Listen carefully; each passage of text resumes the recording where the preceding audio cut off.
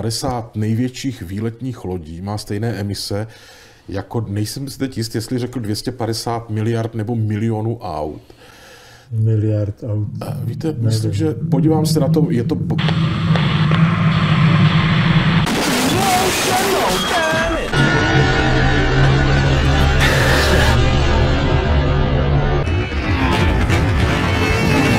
Prostě miliard, 250 miliard,